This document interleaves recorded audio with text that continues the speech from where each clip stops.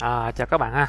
Bây giờ chúng ta sẽ tiếp tục ha với một cái bài khác trong cái khóa học à, quản trị email server. Ở trong à, cái à, bài trước thì các bạn đã à, tạo ra cái, cái chứng chỉ ha, rồi các bạn đã à, à, thiết lập cái chứng chỉ cho cái mail Zimbra của mình rồi. Ở trong cái bài hôm nay á, thì chúng ta sẽ tập trung về cái thao tác là làm sao để mà chúng ta duyệt mail để mà mà các bạn à, có thể à, à, duyệt cái email trên cái máy chủ mail Zimra của mình đúng không ạ thì ở trong cái phần trước á, thì à, mình đã hướng dẫn cho các bạn là các bạn gõ https đúng không? mail.athena vietnam.com rồi sau đó các bạn nhập vào à, với cái à, cái tài khoản là à, email server của mình. À, ví dụ đây mình nhập vô với cái tên của mình đi. Rồi sau đó thì các bạn cho cái password vào.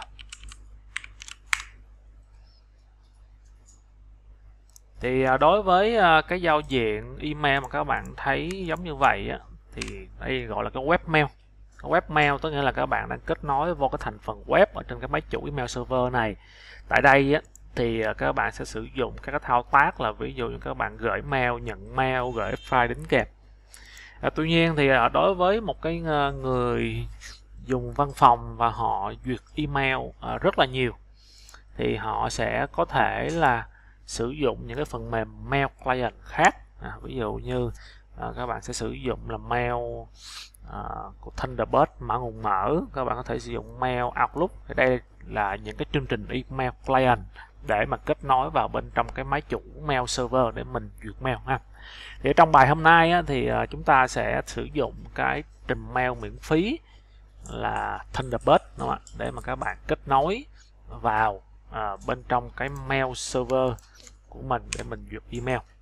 Thì để mà các bạn làm cái bài này ha thì các bạn cần có một cái máy tính khác một cái máy uh, Windows 7 một cái máy Windows 10 hoặc là các bạn có thể lấy chính cái máy thật của mình để bạn cài. Ở trên màn hình ở đây á, thì các bạn thấy là mình đã có cái máy khác đây. Máy của mình ở đây đã cài cái chương trình là Mozilla Thunderbird à, nếu như các bạn à, có thể là lên Google ha.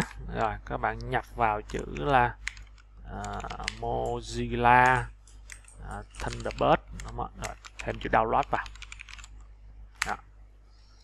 thì các bạn đi vào trang thunderbird.net đúng không ạ? Rồi sau đó các bạn uh, download về. Rồi sau đó các bạn theo cái hướng dẫn của nó. À, các bạn cài nó vào trong máy của mình. Thì ở đây thì mình đã cài rồi đúng không?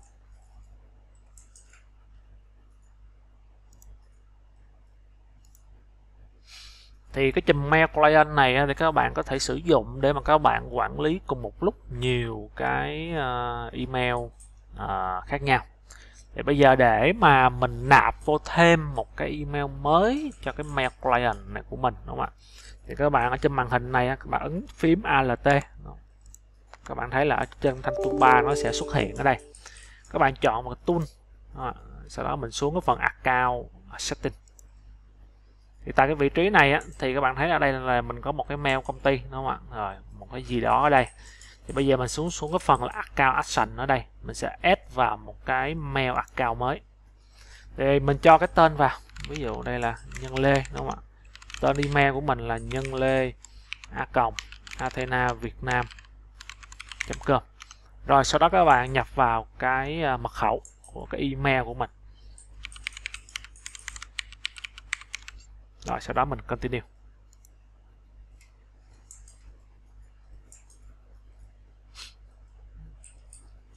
Thì đến đây cái máy chủ của mình ở đây nó sẽ à, kết nối sang cái máy chủ mail server của mình ha. Và ở đây mình sẽ sử dụng cái phương pháp à, để mà ghép mail về là IMAP thì đối với cái IMAP á, thì nó sẽ đồng bộ được với cái mailbox của mail client của mình.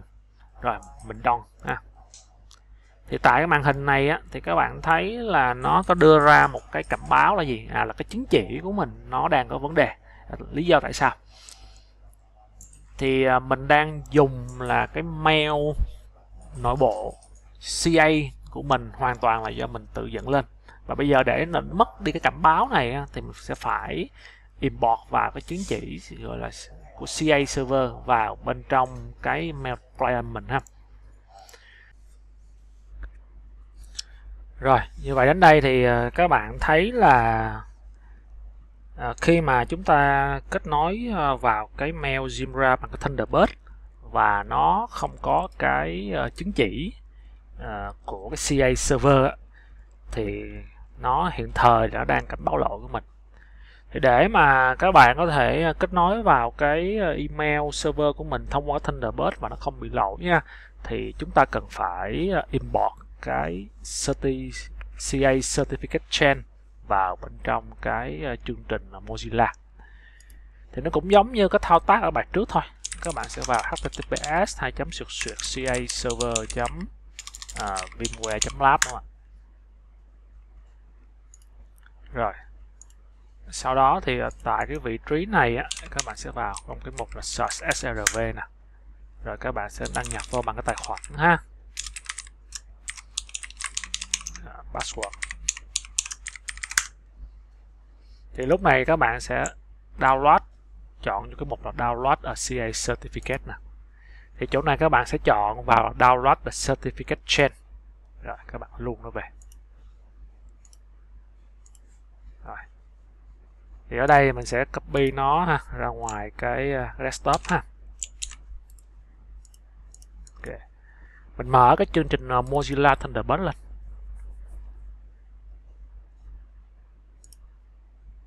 Sau đó chỗ này các bạn ấn phím Alt à, các bạn vào tool. Vào option. Các bạn xuống cái phần advanced. Dưới đây góc bên trái. Thì nó sẽ có cái certificate. Các bạn chọn vào phần quản lý cái chứng chỉ nè tiếng Anh là manage certificate đây ha. À, chọn vào cái phần authority. Rồi sau đó mình import. Thì các bạn sẽ chọn vô cái cái search của mình.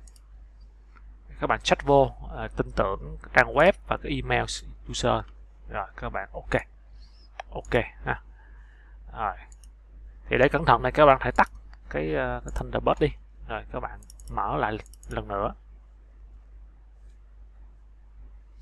À, sau đó thì mình sẽ bấm lại Alt các bạn vào trong tool các bạn vào trong cái phần account setting. Rồi mình chọn xuống là add email account. Rồi sau đó thì mình gõ vào thôi tên ha. Rồi, email là nhân lê đúng không a cộng athena việt nam com. Rồi các bạn nhập password vào. Bạn continue.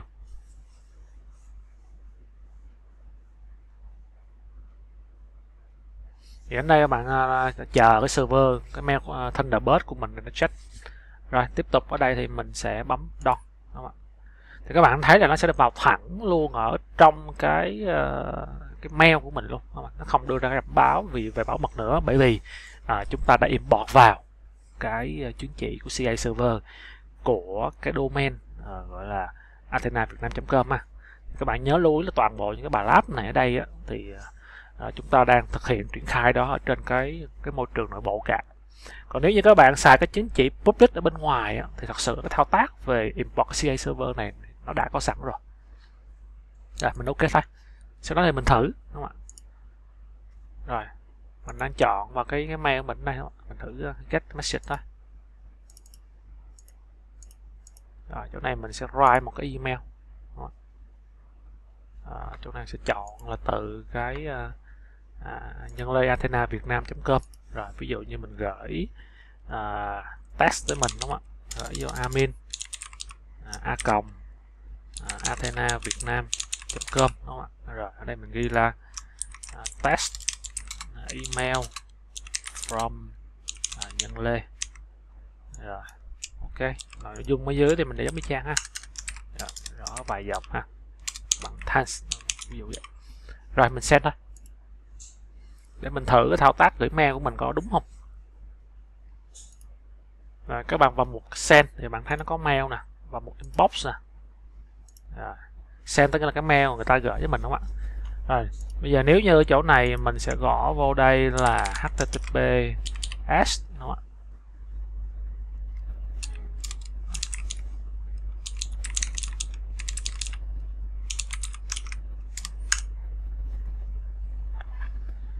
thì ở trên cái màn hình này các bạn thấy là khi mà mình vào cái mail anta việt nam com này, đưa ra cảnh báo về bảo mật lý do là cái trình duyệt web của mình, hoặc là ở trên cái chính cái máy mình đang test chỗ này nó vẫn chưa có cái chứng chỉ CA thì tương tự thôi, các bạn có thể vào ALT đúng không ạ?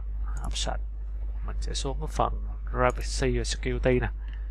Kéo xuống dưới cùng dưới đây, có chứng chỉ. Thì chỗ này mình sẽ import vô nó mặc cái CA thôi. À. rồi, check vô.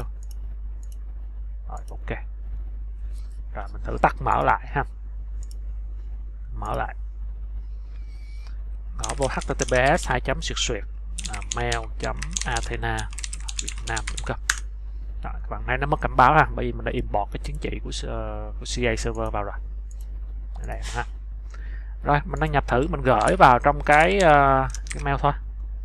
Đây sẽ là athena việt nam com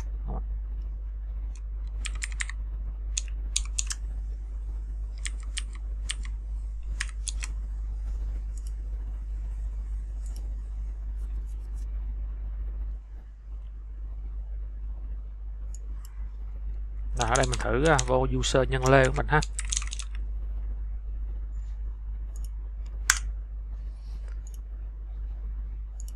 Rồi, hôm nay mình sẽ đăng nhập vô bằng cái user nhân lê của mình ở trên đây và mình thử tự mình gửi cho mình.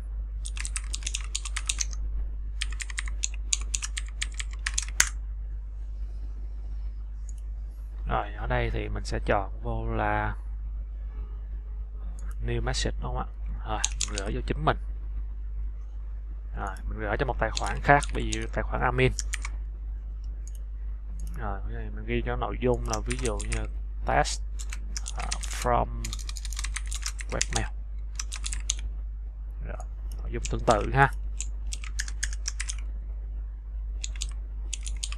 Rồi mình xem thôi. Thì các bạn thấy là ở dưới cái uh, dưới đây của mình nè. À, là mình thấy có có nhận cái email từ chính mình gửi đúng không? Hoặc là ví dụ như mình lên trên web thì mình vẫn có thể câu được bình thường như đây à. rồi. Thì đến đây thì các bạn đã hoàn thành xong cái bước là gì? À, các bạn đã import cái chứng chỉ vào cái mail client cụ thể trong trường hợp này là à, Mozilla Thunderbird.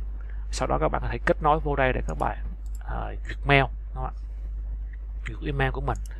Thì à, bạn nhớ là cái khi mà các bạn sử dụng cái mail client này là trong cái ngữ cảnh là các bạn là một người à, mỗi ngày các bạn phải giải quyết công việc email rất là nhiều và để mà uh, cho dễ để mà các bạn dễ thao tác và để xử lý email một cách nhanh gọn á, thì các bạn nên uh, sử dụng những cái trình mail client này. Ha. rồi ở đây mình sẽ kết thúc cái video này ha. Chào các bạn.